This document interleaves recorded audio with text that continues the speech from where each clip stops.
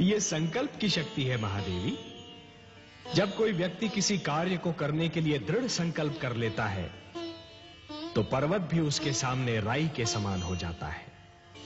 फिर कोई भी बाधा उसका मार्ग नहीं रोक सकती। हे महादेवी, जब एक छोटा सा झरना संकल्प कर लेता है तो चट्टानों की छाती चीर कर बाहर निकलता है। जब एक नन्हा सा बीज उगने का संकल्प करता है तो पथरीली धरती से बाहर फूट कर निकलता है।